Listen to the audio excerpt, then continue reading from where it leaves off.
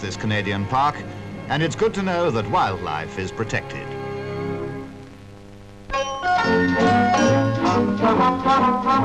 Now, if it isn't my old friend Corporal Springer with Cupcake, Michael Medwin with best man Norman Rossington. Well, well, well, I can see what they're up to. Of course, when I saw Mike's beautiful bride arriving, the lovely Mrs. Sunny Back, I couldn't blame Mickey, even if he did found the Bachelors Association. The wedding was at the Chelsea Register office, and a wedding is always something to shout about. As the Corporal's commanding officer, I heartily approve of this wedding game.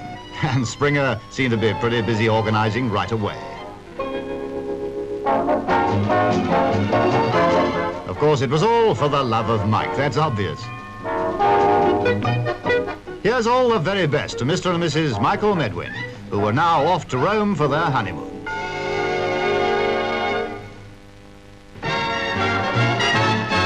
Well, now, this is something I've...